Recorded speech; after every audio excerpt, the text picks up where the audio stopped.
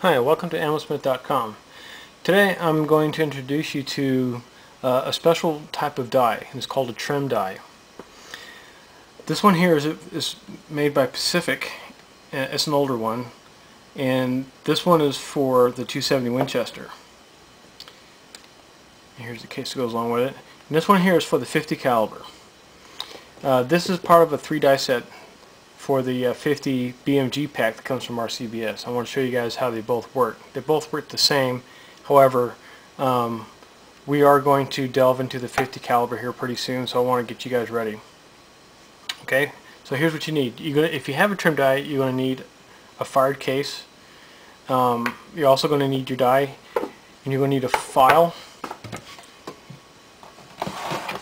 And you're going to need either your lubricant or your lube pad the way they set up is fairly straightforward and I'm going to show you uh, a couple other things that they do as well. These are also going to be used for case forming, not so much the 51 and there's not many other cartridges you can turn to a 50, in fact there's none but uh, the 270 trim die is a great one for converting 30-06 into 270 Winchesters. So let's get started. Okay, with everything we start out with putting the shell holder in to the ram. Then we run the die down.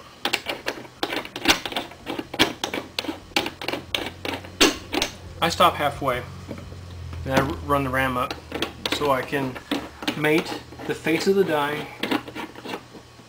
with the shell holder. Remember, you want that little bump on the end.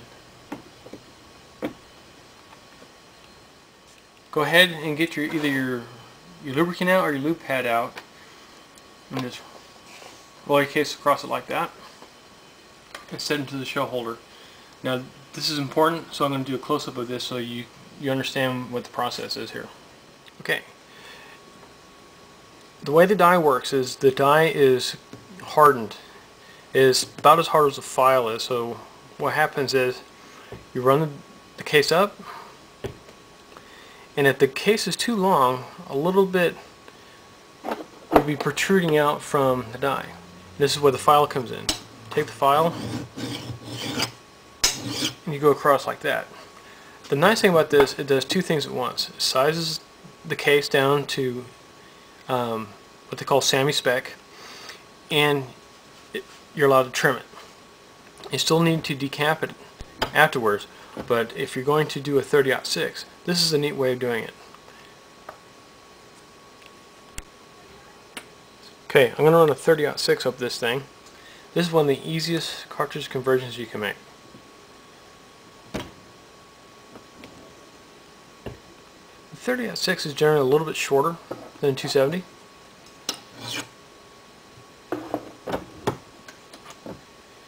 There we have it. Just needs to be fire formed. And it's just going to move the shoulder just a little bit forward to fill in the rest of the chamber. Remember, a headspace from this part of the shoulder back. And that's how a standard trim die works. Let's do the 50.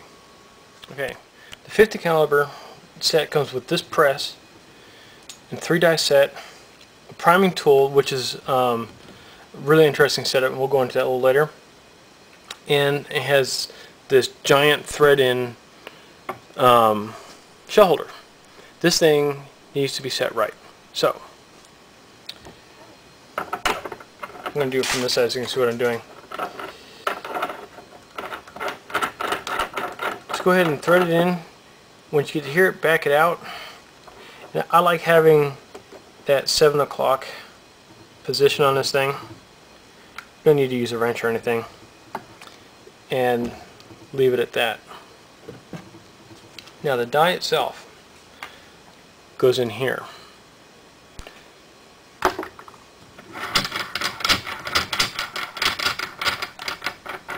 The standard thread collar comes out and this die goes in. This is the same type of setup as it was for the 270 but this one's for the 50. Let's see how to loosen up this.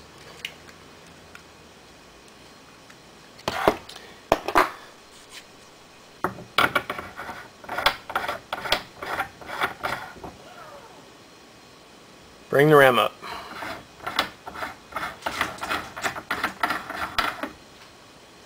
Okay, you see the collar is still unset.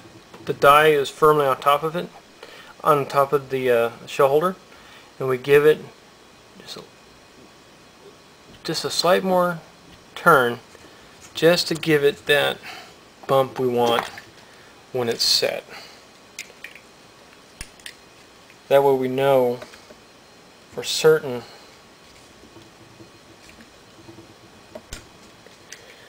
that the entire case, the entire 50 case is going to be forced up the ram into the die and fully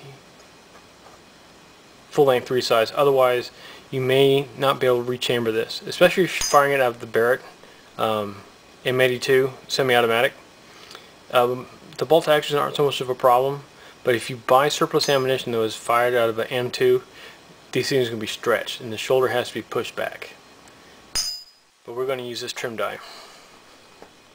Okay, here we are with the 50 BMG trim die. You're going to want to lube it just like you would with the other case. Yeah, this thing is pretty good size here. So you really want to be able to lube one at a time. Okay, go ahead and insert it into the shell holder. Run it all the way up. This takes a lot more force than the standard case because these things are really thick. They're about five and a half inches long. They're really good size. Take your file.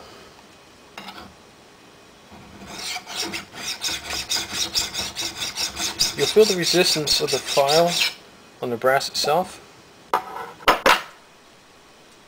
Then you have a trimmed case. This one only trimmed a little bit, just right here. I don't know if you can see that or not. But it helps uniform it. This will stretch a little bit more uh, as this case life continues.